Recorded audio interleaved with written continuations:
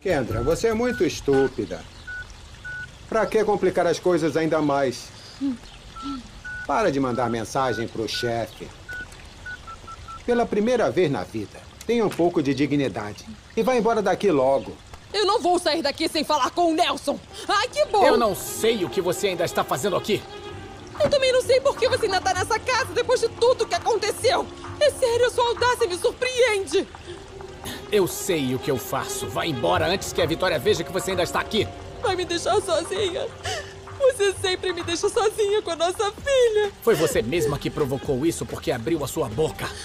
Foi você que me obrigou a falar a verdade sobre a nossa Não gravidez. se faça de mosca morta. A única coisa que conseguiu foi deixar a Vitória contra mim. Claro, pensou que se ela me mandasse embora, eu ia ficar livre pra você. Mas não deu certo.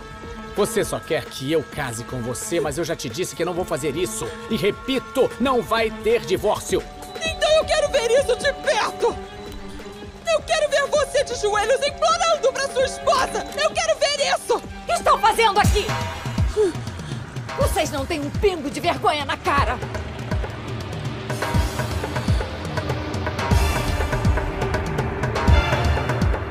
A dona Vitória já perdeu toda a confiança em mim. Já vou logo dizendo que vou me demitir. Não, Aguiar. Não faz isso. E o que mais posso fazer? Não esquece que a Kendra é uma mulher muito perigosa. Vai por mim. Não deixe sua patroa vulnerável. Olha, me diz.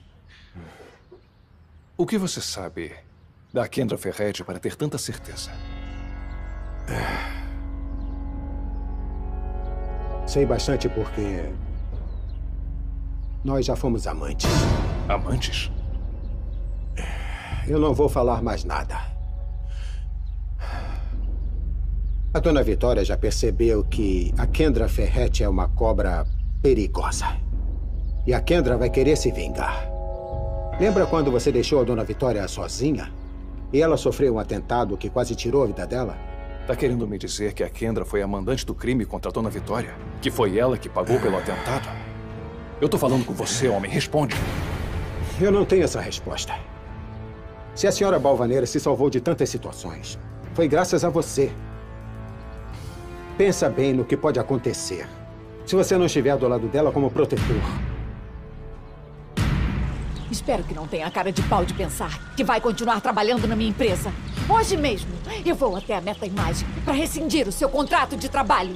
Eu não tô nem aí pra isso, Vitória. Não, não. Claro, mulheres do seu nível não dão a mínima para um emprego decente. Olha só, eu recebo muitas ofertas de Ah, emprego, sim, tá sim, bom? Claro. Mas é evidente que fica muito mais fácil se envolver com homens casados. Com certeza deve ser muito mais fácil ficar à espreita, esperando pra abocanhar só, eu não aguento mais isso não, tá bom? Eu não aguento você, vai. O que é isso? Parem, Eu estou ouvindo os gritos lá do meu quarto que O houve. que houve? Pode dar os parabéns pra futura mãe do filho do Nelson. Adriana, tudo não passa de um mal Ah, entendido. sim, claro. mal entendido. Um mal entendido que vai carregar seus genes podres. Você não vai me ofender Sai, assim, não, mão velha asquerosa! O que, é que você, Você vai vai fazer? ver! Você me odeia! Você me odeia por inveja ou por orgulho! Não, Por que a não. minha irmã vai ter inveja de É você? claro que ela tem inveja! desqualificada. Ela tem inveja da minha beleza e Solta, da minha juventude! Peça suas palavras. Nessas suas palavras, você só asquerosa e rebarada. nojenta! Me solta. Sua desqualificada! Cala a boca. Não vale a pena! boca. Velha rebelde! Vitória, deixa! Parem! Parem! Se acalmem! Sai da Deixa, minha casa, Vitória. pilantra. Mesmo você mostrando esse desprezo, você se sente inferior a mim como mulher! Cala a boca, que eu não vou permitir que fale com a minha irmã Cala a assim boca. casa dela! pensa que é? Desqualificada! Desqualificada! Depois nós vamos conversar, Vitória.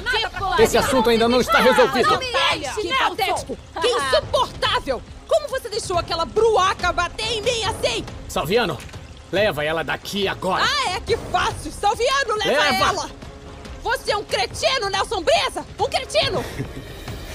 Até parece que as abelhas picaram as suas bochechas. Estão bem vermelhas. Ai, idiota, cala a boca! Todos vão me pagar.